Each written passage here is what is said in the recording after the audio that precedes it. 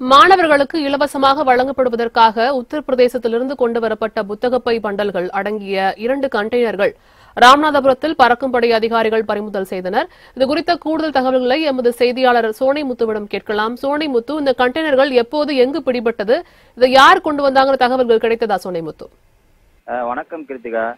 முன்னாள் முதல்வர் மற்றும் தற்போதைய முதல்வர் புகைப்படம் அடங்கிய புத்தக பை அடங்கிய இரண்டு கண்டெய்னர் நாளிகளை தேர்தல் பறக்கும் படையினர் பறிமுதல் செய்துள்ளனர். அதாவது சட்டமன்ற தேர்தல் அடுத்த மாதம் ஆறாம் தேதி நடைபெற உள்ள நிலையில் தேர்தல் ஆணையம் பல்வேறு கட்டுப்பாடுகளை விதித்து உத்தரவிட்டிருந்தது.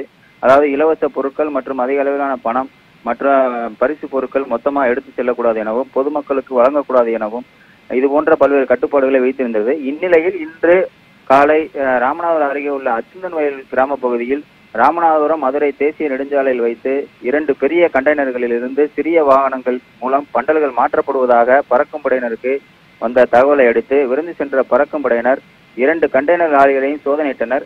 அதில் அஹ், முதல்வர்கள் படம் அடங்கிய புத்தக பைகள் அஹ், பள்ளி கல்வித்துறைக்கு வ- வழங்க வழங்குவதற்காக கொண்டு உத்தரப்பிரதேசத்திலிருந்து கொண்டு வரப்பட்ட புத்தக பைகள் அடங்கிய இரண்டு கண்டெய்னர் லாரிகள் இருந்தது அஹ், கண்டுபிடித்தனர்.